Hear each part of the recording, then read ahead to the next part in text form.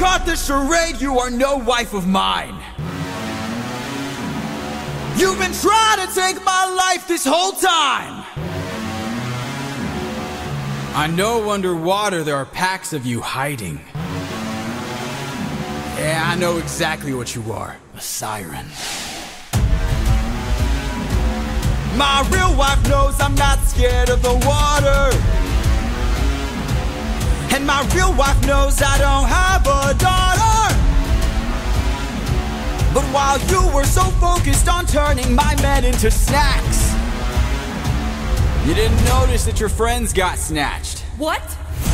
We are a different beast now. We are the ones who feast now. No more of us deceased, cause we won't take more suffering from you. We are the man-made monsters. We are the ones who conquer. You are a threat no longer. We won't take more suffering from you.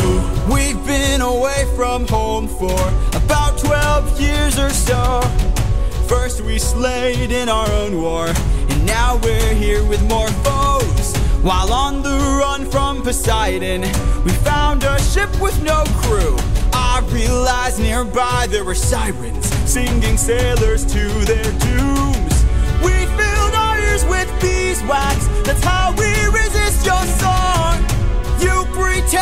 to be my wife, so I just played along.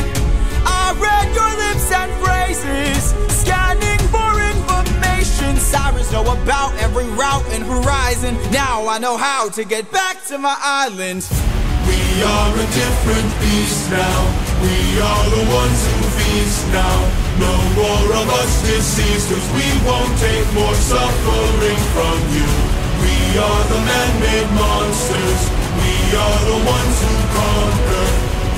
You are a threat no longer. We won't take more suffering from you. Spare us. Oh, spare us, please. Why? So you can kill the next group of sailors in this part of the sea? Nah, you wouldn't have spared me. I made a mistake like this, it almost cost my life. I can't take more risks of not seeing my wife. Cut off their tails! We're ending this now. Throw their bodies back in the water. Let them drown. He is a different beast now. He is the one who feasts now. No more of us deceased, he won't take more suffering from you. He is the man-made monster. He is the one who conquers. You are a threat no longer. He won't take more suffering